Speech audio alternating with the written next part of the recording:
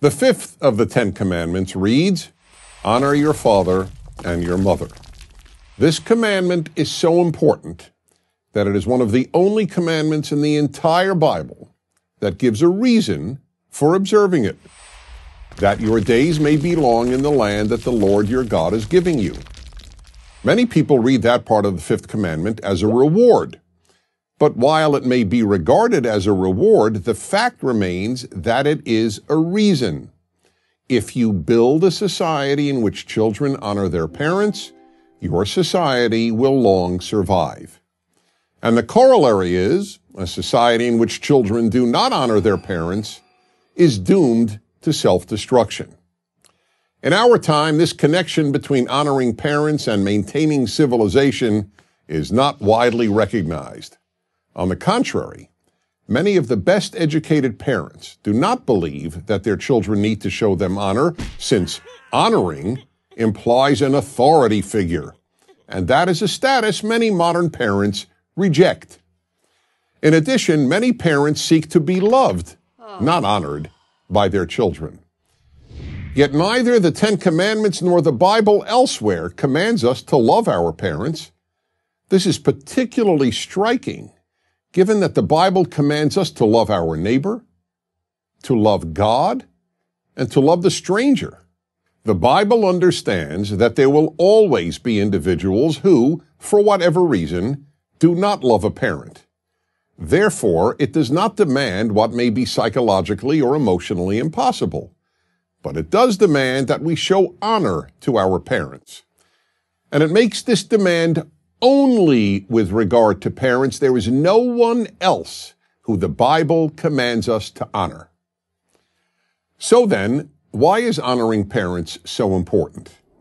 Why does the Ten Commandments believe that society could not survive if this commandment were widely violated? One reason is that we as children need it. Parents may want to be honored, and they should want to be, but children need to honor parents. A father and a mother who are not honored are essentially adult peers of their children. They are not parents.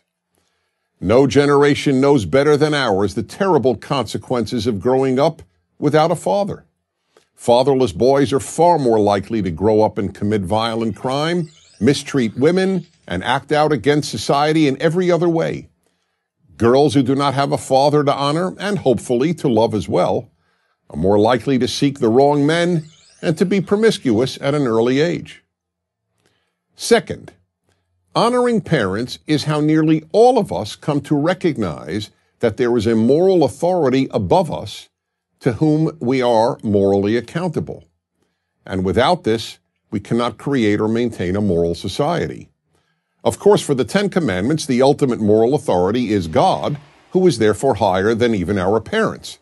But it is very difficult to come to honor God without having had a parent, especially a father, to honor.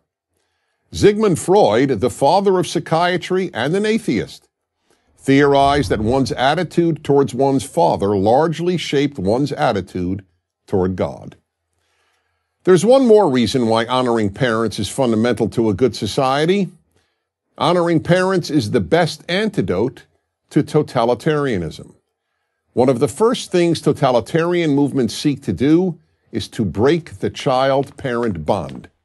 A child's allegiance is shifted from parents to the state.